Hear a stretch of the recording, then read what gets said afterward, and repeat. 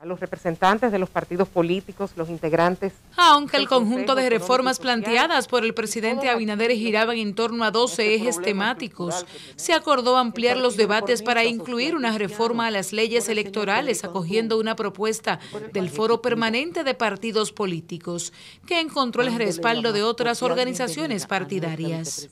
Como bien dijo nuestro presidente Abinader, pues aquí todos estamos para buscar lo mejor para nuestro país, dejando a un lado lo que serían cualquier tipo de aspiración personal.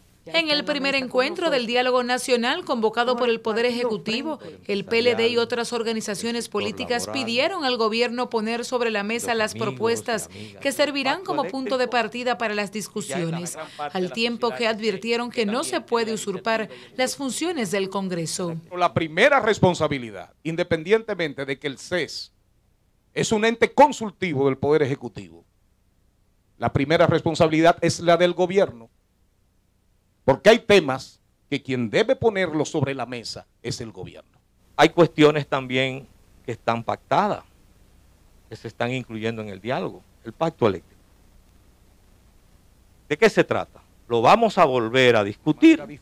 Al diálogo se dieron cita los 12 partidos políticos con representación en el Congreso, además de empresarios y representantes del sector sindical de los trabajadores. En el encuentro quedó pendiente establecer cuál será la metodología de los trabajos, incluyendo la posible incorporación de mesas especializadas para cada tema. El próximo encuentro del diálogo fue fijado para el 15 de septiembre a las 10 de la mañana. Rocío Quiros Noticias, SIN.